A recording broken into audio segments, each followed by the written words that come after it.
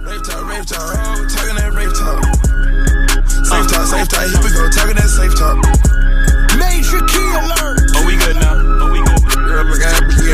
DJ Khaled. I got them keys, keys, keys. I got them keys, keys, keys. I got them keys, keys, keys. I got them keys, keys, keys. Hey, what's going on, guys? Today, uh, I want to touch on a real important subject. Today, man, we're going to talk about sun protection and safety vests.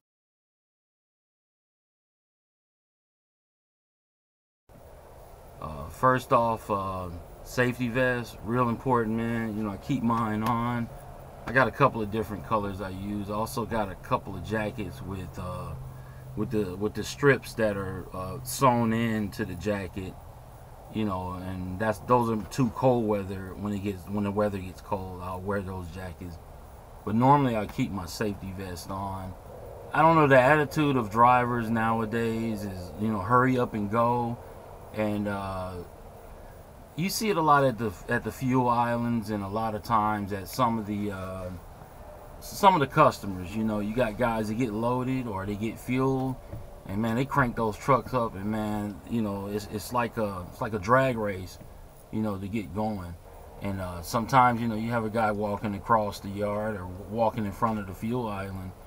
You know, you jam it in gear. You know, you don't even see that guy. You know, you can get clobbered, man. You know, and I've almost got ran over a couple of times myself, man. And a lot of times you can't help but get emotional. You know, you want to, you know, you know, it's like you want to, you know, jump on the guy's uh, step and like, you know, tell him a thing or two. But, you know, like I said, uh, you know, you got tunnel vision, man. You're in a hurry. You're trying to get out of there. Um, so one way to prevent that is, hey, man, put on a high visibility safety vest. I mean, they're really cheap, man. They're like, I know, I got this one for like, I think I got three of them, and they were like eight bucks each. I got a little brother. He drives for JB Hunt, and uh, he told me of a security guard uh, that stepped out from between two trailers, and there was a guy driving a yard goat, you know, around the yard.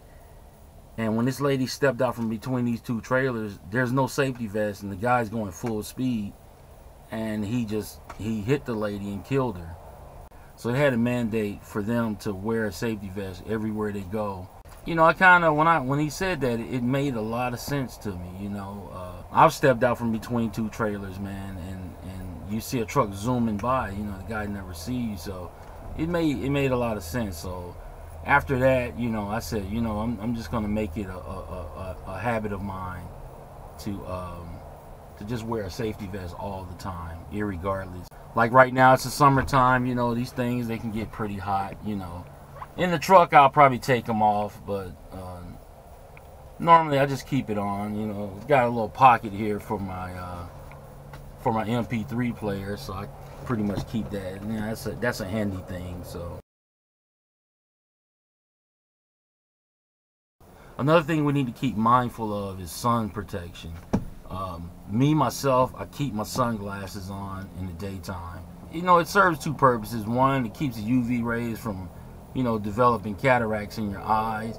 And also, you know, during sunrise and sunset, you know, the, the sun's like right in your windshield. And, and that glare, you know, it can hide a lot of things, you know, like uh, traffic lights and cars, oncoming cars if you're on a two lane highway. Or it can hide the visibility of a car coming towards you. And, you know, God help you, man, there's a car drifting in your lane or maybe a car passing from the opposite direction you won't have no time to react if, if the sun if the sun glare if the sun is glaring in your eyes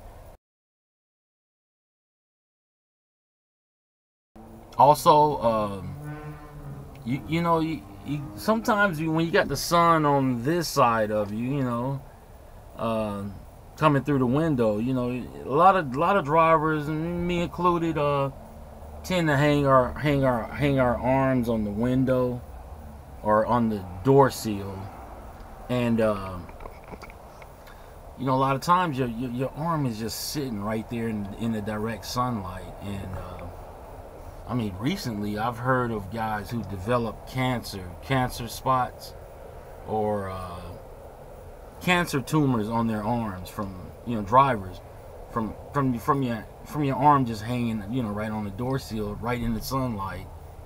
And on top of that, I don't know about you, but I it tends to tan one of my arms. So I got a one arm darker than the other.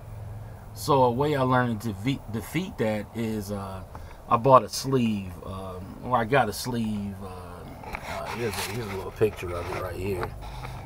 Um, I bought a sleeve. I bought a sleeve to kind of protect my arm from the direct sunlight. Um, this particular name brand is Copper Fit, real cheap, man. I got it out of Big Five for like uh, got it for like six ninety nine.